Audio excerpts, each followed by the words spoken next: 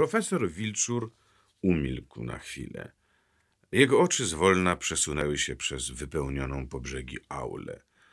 Panowała zupełna cisza. Czuł w tym audytorium, że każde jego słowo trafia wprost do serc, że każde serce odpowiada mu żywym oddźwiękiem. Bo powołanie lekarza, zabrzmiał znów jego głos, jest tworem tej największej i najszlachetniejszej miłości, miłości bliźniego, jaką Bóg zasiał w naszych oschłych sercach.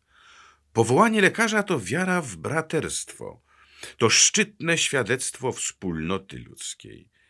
I gdy pójdziecie w świat, by swe posłannictwo pełnić, pamiętajcie przede wszystkim o jednym. Kochajcie. Stał jeszcze chwilę nieruchomy i milczący, później uśmiechnął się lekko, skinął głową i swoim ciężkim, sprężystym krokiem wyszedł z auli.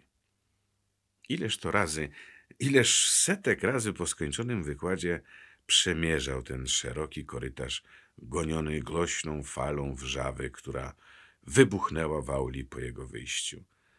Ale dziś nie był to zwykły wykład i nie o zwykłych rzeczach mówił profesor Wilczur swoim słuchaczom. I sam nie był w zwykłym nastroju. W ciągu ostatnich tygodni docierały do niego coraz dlań dziwniejsze i coraz boleśniejsze wiadomości. Pierwotnie zaskoczyły go tak dalece, że nie mógł się w nich zorientować. Wydawały mu się czymś przypadkowym, niezrozumiałym, wręcz absurdalnym. Nie dlatego, że dotyczyły jego osoby. Gdyby podobnie uwlaczające rzeczy opowiadano o profesorze Dobranieckim, o doktorze Rancewiczu, Biernackim, czy bodaj o młodym Kolskim, wstrząsnęłoby to Wilczurem równie silnie.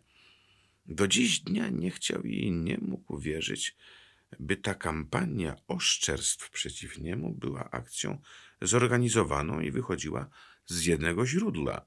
Nie wierzył, gdyż nie miał przecie wrogów. Nikomu zla nie życzył, nikomu krzywdy nie wyrządził. Przez całe swoje życie wierny był tym wskazaniom, którymi zakończył dzisiejszy wykład. To niemożliwe, powtarzał sobie, idąc jasnym korytarzem. Dopiero przed drzwiami dziekanatu spojrzał na zegarek. Była jedenasta. W pierwszym pokoju, ku swemu zdumieniu, zobaczył kilku nieznanych sobie panów. Wstali, gdy wszedł, a sekretarz objaśnił. E, właśnie to panowie z prasy. Chcieli prosić pana profesora o wywiad. Wilczur uśmiechnął się. Jeszcze panom mało? Sądziłem, że po trzech latach już wreszcie zdołaliście nasycić ciekawość waszych czytelników. Zanudzicie ich moją osobą i moimi przeżyciami. Nie, panie profesorze, odezwał się jeden z dziennikarzy. Tym razem chodzi nam o pańskiego nowego pacjenta. O pacjenta? O którego pacjenta? O Leona Donata. Wilczur rozłożył ręce. Cóż ja mogę panom o tym powiedzieć? To nic poważnego, o ile wiem z relacji moich mediolańskich kolegów. Operacja będzie łatwa i nie grozi żadnymi, nawet blachymi następstwami.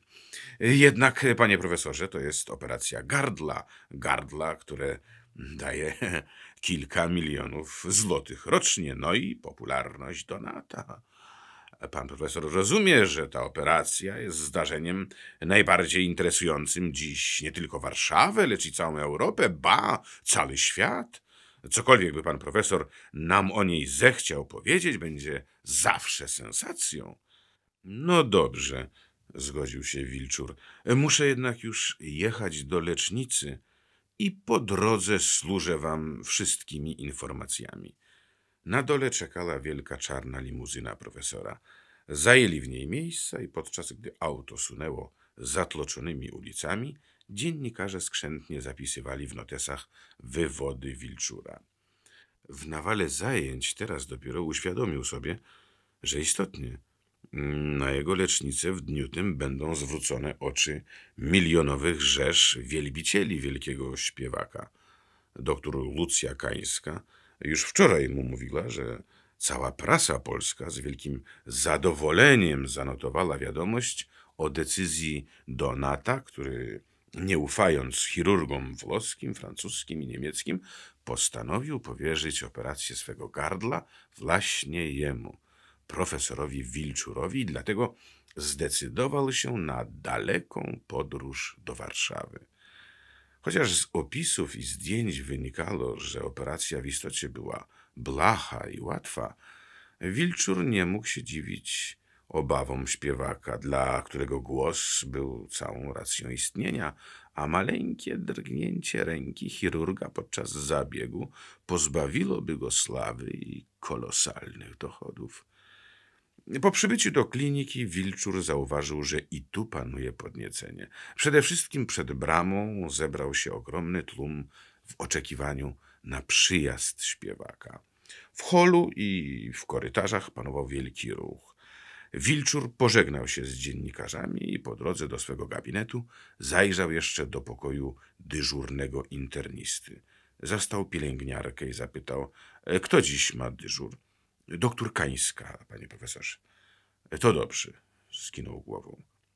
U siebie zastał profesora Dobranieckiego dyskutującego o czymś z młodym Kolskim. Podczas gdy Wilczur nakładał kitel, pod oknami rozlegały się okrzyki coraz głośniejsze i głośniejsze. Lekarze uśmiechnęli się do siebie. Zrozumieli się bez słów. Kolski jednak zauważył. Ludzie jednak wyżej cenią sztukę niż zdrowie. Żadnemu z nas nie robiono by takich owacji. Zapomina pan kolego o profesorze Wilczurze i o jego popularności? Lekko rzucił Dobraniecki. Popularność tę zawdzięczam nie temu, że jestem lekarzem, lecz temu, że byłem pacjentem, odpowiedział Wilczur i wyszedł z gabinetu. Zaraz za nim wyszedł Kolski.